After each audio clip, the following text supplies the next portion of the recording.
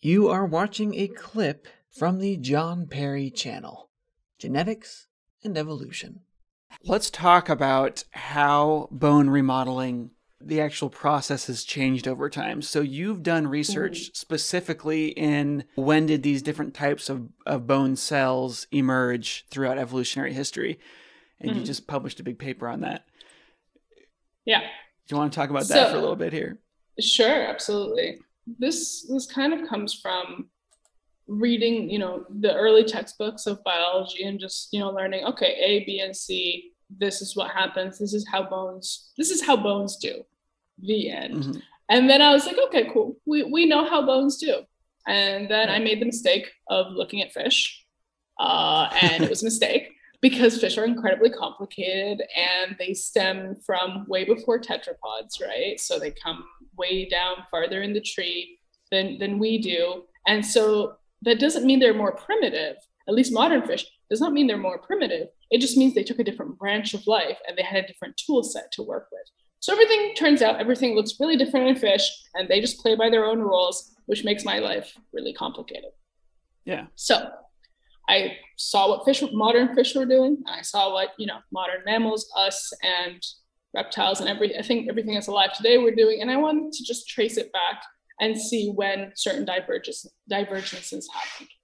So Yeah. to understand to understand why this is cool, I have to give you guys a little bit of bone 101. Yeah. So- well, wait, well, one quick question first. What Yeah, yeah, what for it. group of fish were you looking at? Teleosts, bony, bony fish, uh, basically the ones that make up the vast majority. So think tuna, think salmons, think uh, opah, not sharks. So like Yeah. bony fish, the ones that you would that would end up on your dinner table. Nothing extremely special, nothing extremely specialized, and they were still doing everything really differently Yeah. than than all the textbooks said because apparently nobody looks at fish. So when you're looking for these rules that are supposed to guide all bone and you know like hmm you you they have to apply to all animals that have bone. Otherwise they're not rules and therefore you have to dig deeper. And for me digging deeper means digging deeper in time. Hmm so bone 101 so you got to know that basically there's three bone cell types that you just have to keep in mind. There's the bone building cells osteoblasts your bone destroying cells your osteoclasts and your osteocytes which i call your bone maintaining cells or the ones that kind of keep everyone in line. They orchestrate bone remodeling they orchestrate uh, a bunch of different things. They sense pressure in your bone. They kind of just they live in the bone and they have think of squid arms or octopus arms and they reach out everywhere. So there's a bunch of those and they're the most numerous. So there's Yeah. your three cell types. Now all books say that those are your three cell types one and done that's it Right. so it's pretty insane that the vast majority of living vertebrates today the vast majority don't have osteocytes and Some- all of bony those fish. Yeah. all of those are bony fish which Crazy. is just like come on you guys like you cannot follow a single rule like rude so i looked back in time and realized they did have osteocytes um, at some point in the cretaceous and then lost it and some things lost it even more recently we're, we're not a 100% sure there's a couple of new papers that are coming out about exactly when certain things were lost anyway Hmm. they come from ancestors that had osteocytes Yeah. Okay, great. Great. We're back to following the rules. But if you go back just even a little bit farther, before jaws evolved, before limbs evolved, before any of that, so you're looking at mud slurping jawless fish, early Devonian, Silurian, the earliest vertebrates, armored jawless fish.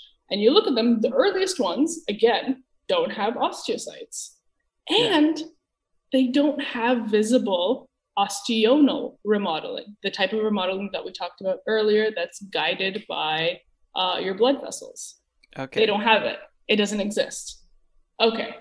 So now we know that all our bone and all the all the superpowers that our modern bone has hasn't always existed, but they were acquired through evolution and possibly in a stepwise uh, fashion, possibly all at once with one animal. We're still not 100% sure. When you look a little bit later, there's another jawless fish that has osteocytes and has a bunch of other features that makes us think, okay, those are the ancestors to jawed vertebrates. And then from those, the earliest jawed vertebrates are the ones that have osteonal remodeling. And from there, you get, you know, all your splits of cartilaginous fish and ray finned fish and all the fish that we have today, and then Sarcopterygians, the lobe-finned fish, the ones that lead eventually to us, tetrapods. The story of bone is basically the story of vertebrates. It starts right at the beginning uh, with a really extremely simplified external armor. They look like beetles. They have only bone on the outside. They don't have any bone on the inside. Oh, I did not know that. Okay. They have no bone on the inside. It's a cartilaginous skeleton on the inside, bone on the outside only. And the bone on the outside is covered in, pause for effect, dentine. Oh, wow. Which is what our teeth are made of. Yeah. Which is crazy. Yeah. So the first tissues that make our teeth today actually started out as ways that our mud slurping ancestors protected themselves. Yeah. So that's the story of bone. That's the story of teeth. They're all interconnected. And I got asked a really good question, which is why?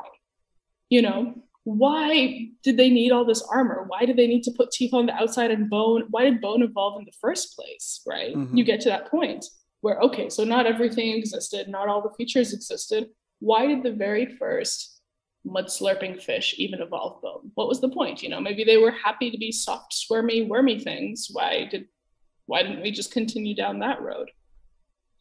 And the the answer is very likely because of eurypterids, these giant sea scorpions that mm-hmm. tried to basically eat our early vertebrate ancestors and they're like mm, this is not this is not how we're doing this i would rather be armored and survive thank you and that's how vertebrate mineralization likely started from that predation pressure. So yeah. we can thank scorpions and arachnids for our skeletons, basically, is what I'm trying to say. Nice. Nice. okay. Editor Jon here. What Yara just said there is so important that I just I have to restate it. Not because she didn't state it well enough, but because it's so important. I, I want people to, to really understand this. It appears that our skeletons and our teeth, the molecular precursors, the genes that we now use to build our skeletons and our teeth, those evolved during an arms race with ancient marine arthropods. Or again, as Yara put it. So we can thank scorpions and arachnids for our skeletons, basically, is what I'm trying to say. Well, that's it for this clip, but don't worry, I post clips regularly, and every Thursday, I post completely fresh content. Make sure you're subscribed.